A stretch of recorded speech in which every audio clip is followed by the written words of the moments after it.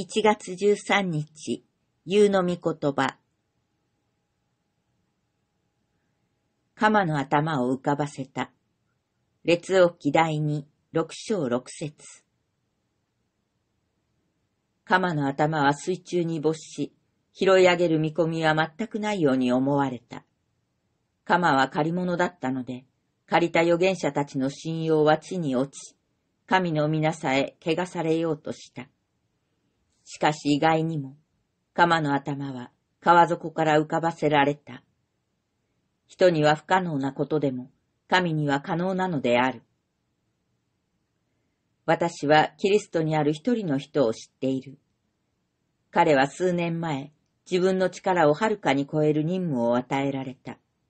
それは非常に困難に見え、手をつけることさえ愚かなことに思われた。しかし彼はその任務に召され、信仰をもって決然と立ち上がった。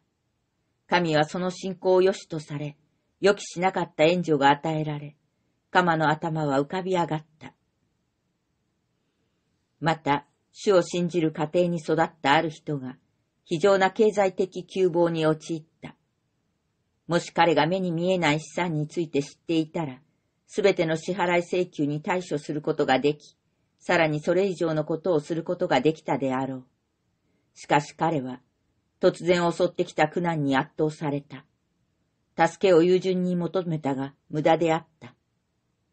しかしついに、彼の信仰は、決して期待を裏切ることのない助け主のもとに彼を導いた。そして困難は回避され、彼は自由に歩くことができる身になり、鎌の頭は浮かび上がった。もう一人の人は、哀れな堕落者を扱うことになった。彼は教え、叱責し、警告し、食事に招き、取りなしをしたが、すべては無駄であった。若いメランヒトンにとっては、古いアダムがあまりにも強力であり、その頑固な魂は和らぐことがなかった。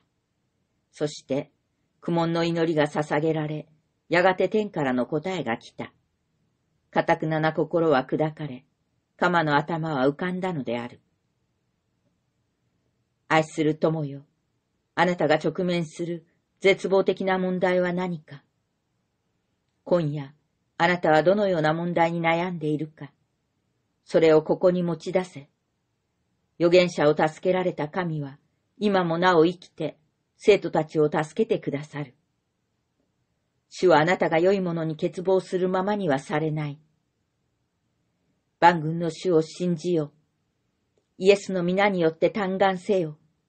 そうすれば、鎌の頭は浮かぶであろう。あなたもまた、神の指がその民のために奇跡をなされるのを見るであろう。信仰により、それをあなたのものとせよ。そうすれば、鎌の頭は浮かび上がるであろう。